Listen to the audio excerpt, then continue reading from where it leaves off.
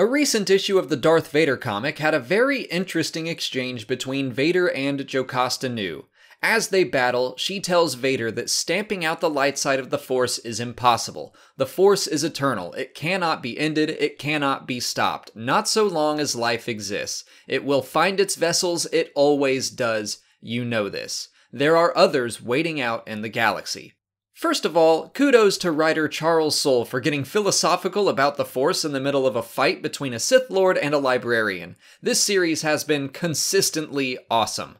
But I think issue 10 tells us some very interesting things about the nature of the Force, Anakin Skywalker, and Rey.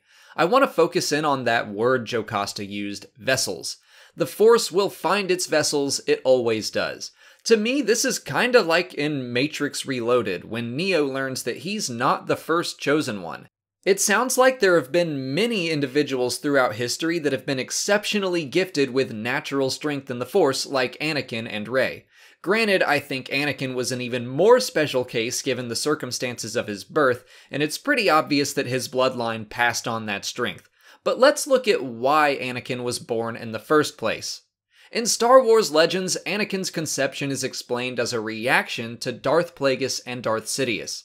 They attempted to push the Force out of balance, leaning more towards the dark side. In response, the Force created a being in an effort to restore balance. It wound up taking 40 ish years, but hey, it worked. Again, that's Legends, but I think the same basic principle could have easily happened in canon. In The Last Jedi, Snoke has the line, Darkness rises and light to meet it.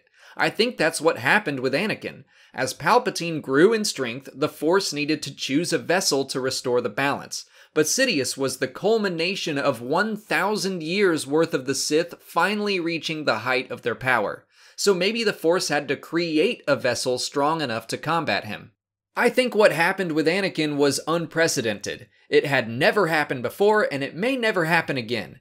But what I think the Jedi had probably seen before is an individual being chosen as a vessel, especially in times of great need. So let's jump forward to Rey. Luke Skywalker and the Jedi have been gone for five years or so.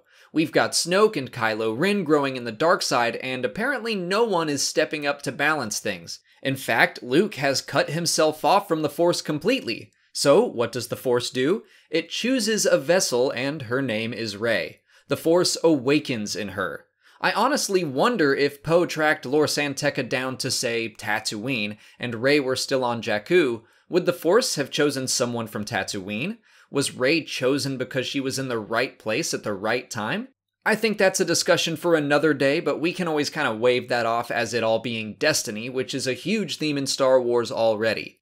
Many people have complained about how quickly Rey picks up the Force in the last two movies, but I think this offers at least some explanation. Also, it was hinted in a discussion by some of the Lucasfilm story group about The Last Jedi that Rey and Kylo may have picked up some abilities from each other during their mental battle on Starkiller Base. One more line from that comic got me wondering about the future. Jocasta Nu says the Force is eternal, it cannot be ended, it cannot be stopped, not so long as life exists. That just got me thinking about potential future stories. Maybe we could see some insane, misguided former Jedi start to believe that the Force itself needs to be destroyed for whatever reason. Maybe some super powerful villain like Nihilus takes it upon him or herself to destroy all life in the galaxy because they have some vendetta against the Force. That seems a little extreme, and villains that are trying to destroy all life can come off as very cliche and unrealistic, but my point is, I think it would be interesting and different if we had a villain that were trying to damage the Force itself rather than trying to dominate and rule the galaxy. That's kind of besides the point of this video, so I'll bring things back on track as we close out. What do you think of Rey and Anakin being vessels for the Force? Do you think that's what this line is implying, or is it something else? Do you think there have been more vessels in galactic history, and would you like to see them? Let me know all your answers in the comments. If you haven't already, please like this video, subscribe to the channel, follow me on Twitter, Instagram, and Facebook, and consider checking out my Patreon page. As always, thanks for watching, and may the Force be with you.